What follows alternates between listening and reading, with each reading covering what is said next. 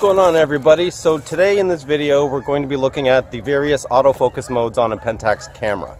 Uh, specifically we're going to look at AFC and the different modes that are available when you're shooting that way because there seems to be a lot of confusion in regards to uh, focus tracking and how that's actually set up. Uh, now you have two different versions of auto which I do not suggest you use because the camera will not allow you to focus on what you think you're focusing on. I'll explain that and show that. I actually have another video explaining that, which I'll actually link here in this video and in the description.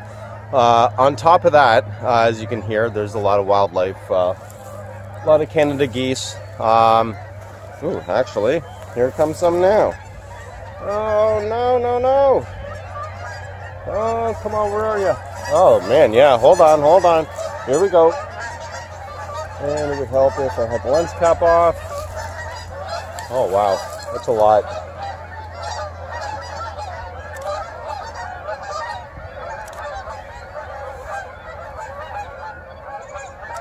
They are facing the wrong way though, because you're already coming overhead.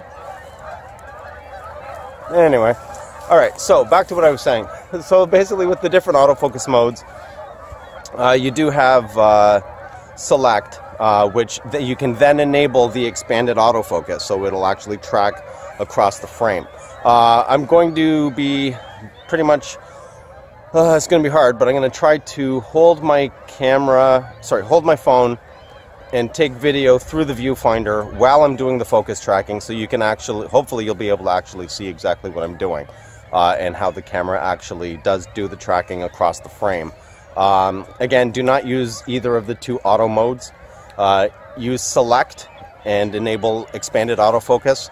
Uh, those are the settings I always use. And the other option is spot, which will only use the very, very center focus point. It will not track across the frame. Uh, yeah, and uh, we'll uh, look at the autofocus hold setting on a Pentax K3. I believe the K1 has it as well. I'm not sure about the KP because I don't personally have a KP.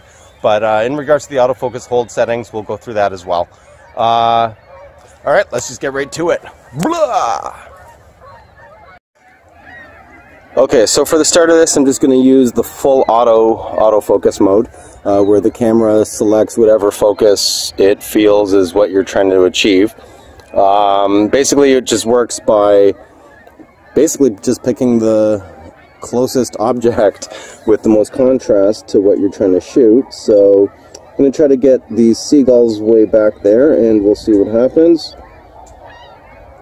Uh, okay, so there's one shot. And Oh, take. Alright, I'm just gonna. Oh, wait, nope. See, just got a branch. It's not what I was intending on getting.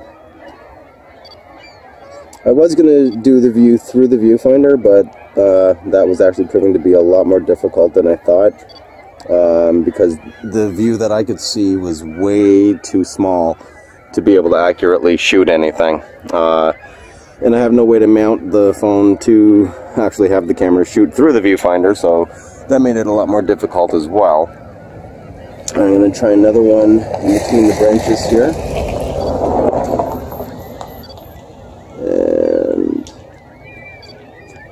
And it's not too, too bad. Oh, okay, I take that back. Yeah, when just a little offset, it makes a big difference. Like I said, it'll just pick whatever the closest thing is.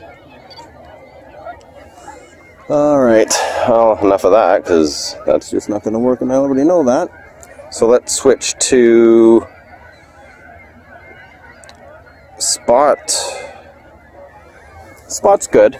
Um, the only problem is it doesn't actually do tracking across the frame. It'll just stay at that one focal plane and if something's moving horizontally across the frame it won't continue to track that's the only issue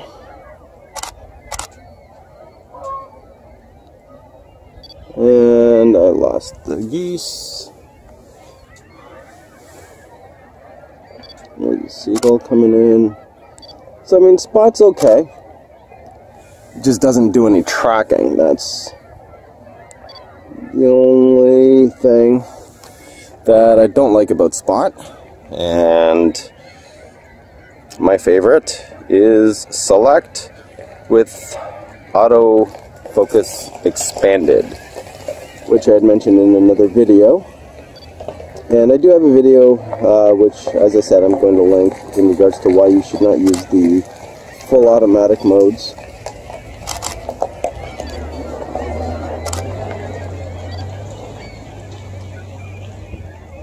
You should not be using the full automatic uh, focus modes because they're intolerably inaccurate.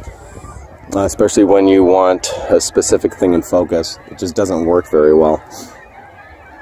Uh, I wish I could have actually shown you guys the video through the viewfinder so you could see exactly everything that's happening. Um, I guess I'll try to find another way to show uh, the highlighted areas and stuff as you're focusing on various things. Um, I don't really...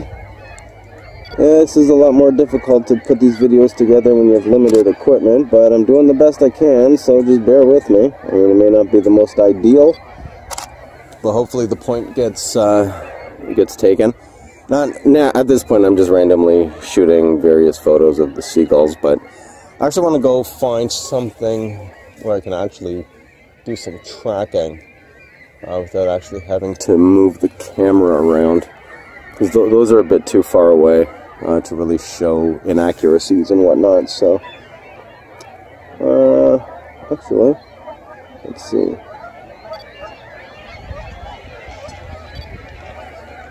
Yeah.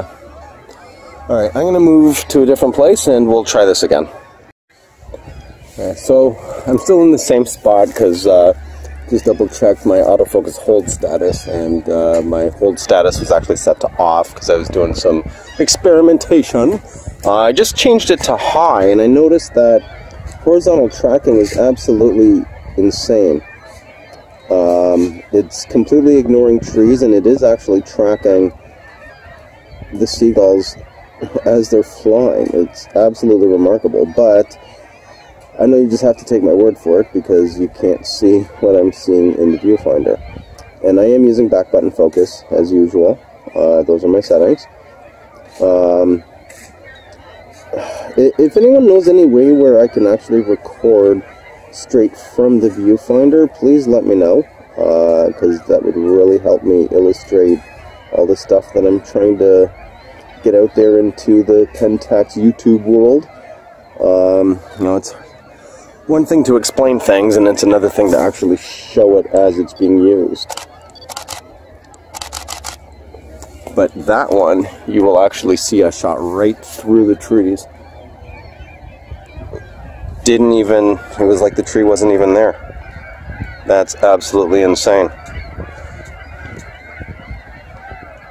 Yeah, it's like, oh man, yeah, it's like the tree wasn't even there. That was absolutely crazy. Uh, so that right there shows exactly how the autofocus hold works. So that actually might accomplish what I was trying to do.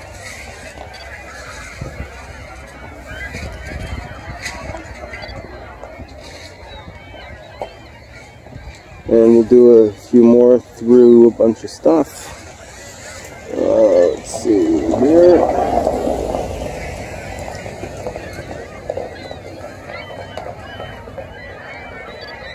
Oh, come on. Fly through something. Fly through something.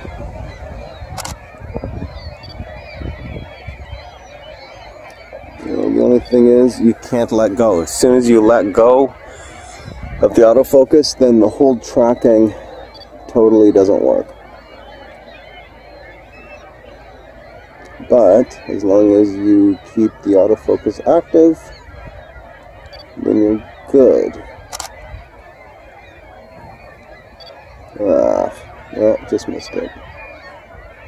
It's a little counterintuitive. I'm used to releasing the button and then reacquiring focus, but you don't actually have to.